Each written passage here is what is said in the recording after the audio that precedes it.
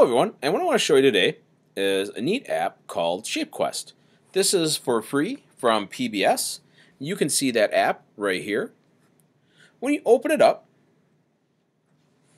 it takes a little second to load, but what this is is an augmented reality app. So this is going to take something in the real world and bring it to life on your iPad. When it opens up, we see the information here. What we want to do is select Patch the Path,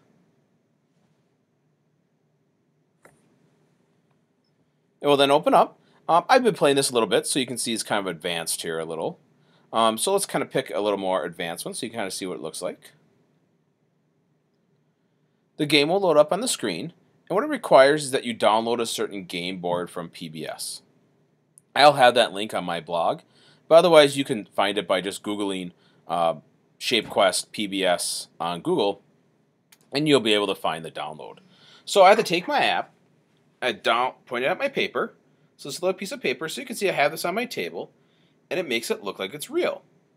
Now what I have to do is certain things like I have to grab these little kind of puppies, and I have to drag them back into the cart. So you can see I can do that pretty easily. And I move my iPad camera around to do that. I then have to find blocks and pick them up and rotate them to fit into the shape. And you can see I dropped that in there. Now, what the iPad is actually looking at is going to be this. And let me turn on my camera so you can see the piece of paper. Camera. This is what the game was looking at. Just a regular piece of paper, but that's what makes the game, ShapeQuest, come to life, is that little piece.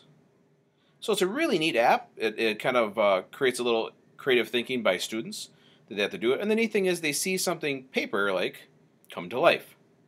There's lots of different levels that are available.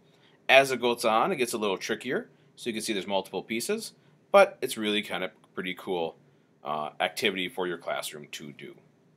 All right. I hope you find this app pretty cool, and thanks for watching.